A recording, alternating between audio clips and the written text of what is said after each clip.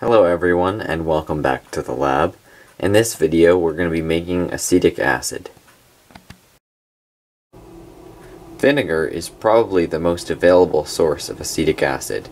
It's approximately 5%, but that's not enough for my purposes, so in this video I'm going to make as concentrated as possible. Sodium acetate and sulfuric acid will react to generate acetic acid and sodium hydrogen sulfate. It's important that the sodium acetate is anhydrous.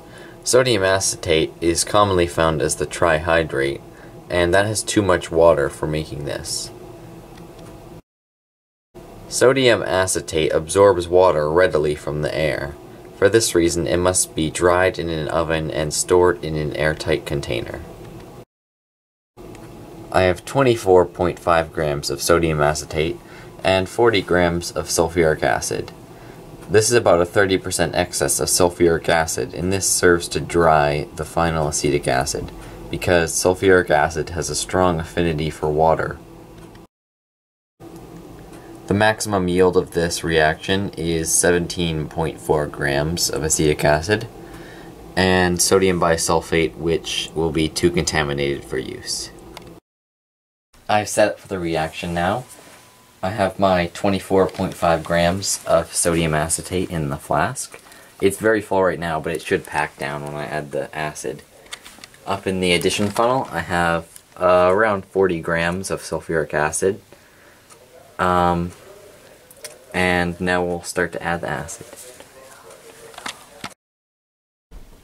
I'll turn on the water to the condenser because it's going to get very hot and we'll start addition.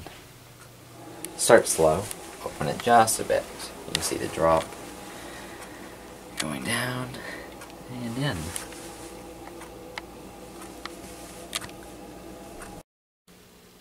I let it cool down after the addition, and when it was cool enough, I removed the addition funnel on top and replaced it with a stopper, and now we're going to begin to heat. I've started heating and you can see the vapor front of acetic acid is rising and pretty soon it's going to make it in the condenser.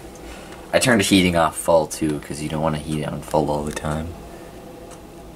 As the vapors rise they heat the glass and they can slowly get higher and higher until they make it in the condenser. Oh and we're just going over the edge.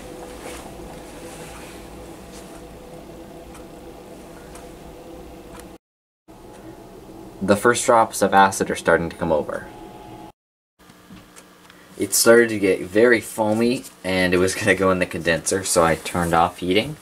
And if you look over here, we have our final yield. It looks to be about 20 milliliters of acetic acid, but we'll find out that when we measure it.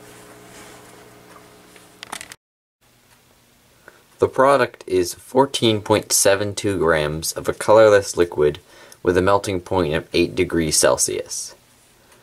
8 degrees Celsius corresponds to it being 95% acetic acid, and that means I got an 80% yield.